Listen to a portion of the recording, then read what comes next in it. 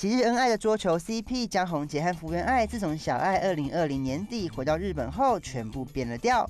最终，两人在去年七月联合发布离婚声明，宣告五年婚姻正式画下句点。而回台后的生活，两人似乎都相当忙碌。小杰全心投入全明星的录制，下班后又立马回到一打二的爸爸日常。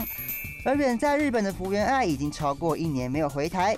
和孩子仅透过视讯方式联系，让外界揣测是不是在日本已有稳定交往的对象。小爱自从被日媒拍到与神似大谷祥平的横滨男约会，就屡次传出两人同居再婚的传言。近日，根据日媒 Flash 报道，福原爱的闺蜜爆料，小爱曾在一月聚餐时带上横滨男，趁着男方离开座位时，松口和在场闺蜜宣布要和新欢结婚了。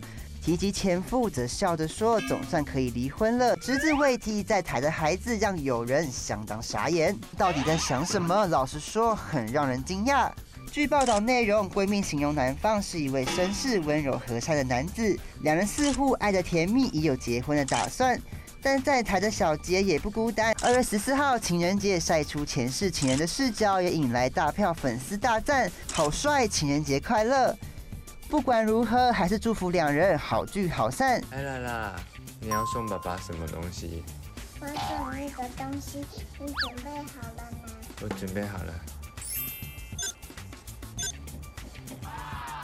巴拉采访组整理报道。